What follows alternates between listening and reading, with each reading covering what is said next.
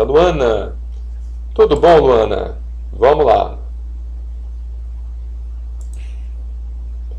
Olá, doutor. Fiquei com os lábios inchados e fui ao médico alergista. Ele acha que não é angedema hereditário, porque não tem caso na família. Não é bem assim. É, há casos de pacientes que não tem ninguém na família com angedema hereditário e que tem o angedema, tá? Então, não é assim. É lógico que eu não quero questionar o colega, mas os novos estudos estão demonstrando isso, tá bom? É, mesmo assim, me mandou fazer os exames para termos certeza, que eu acho ótimo, Luana.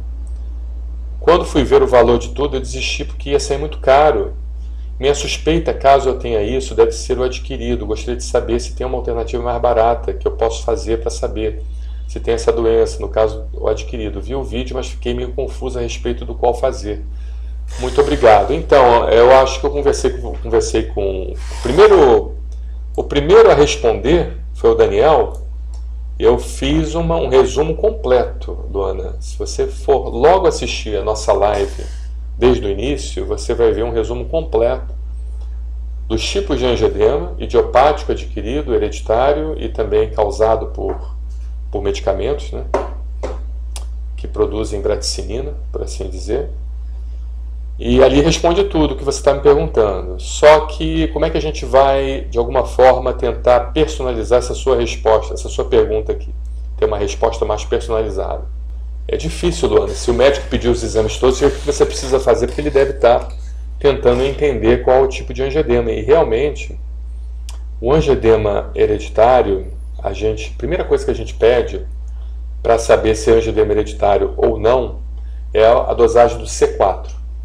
Então, quando o C4 vem normal, não é nem hereditário nem adquirido. Tá? C4 é um exame do complemento C4.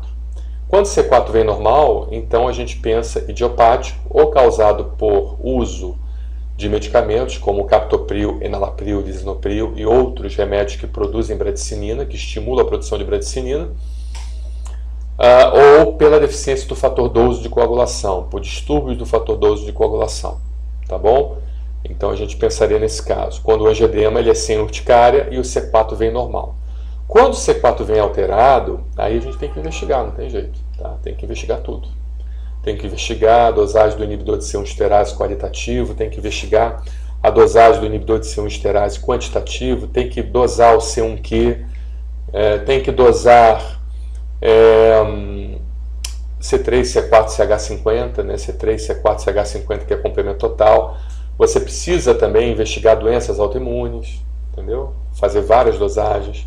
Você precisa investigar neoplasias, cânceres, você precisa investigar doenças do sistema linfo, é, doenças linfoproliferativas do sistema linfático e também sanguíneo. Você precisa realmente investigar isso mais profundamente, Luana. Mas o primeiro exame a ser feito realmente é o C4, tá? C4 é que é o divisor de águas. C4 normal, pensamos em angedema idiopático, quando, quando o angedema é sem urticária. Pensamos em angedema idiopático, alteração do fator 12 de coagulação e angedema provocado por medicamentos. Tá bom?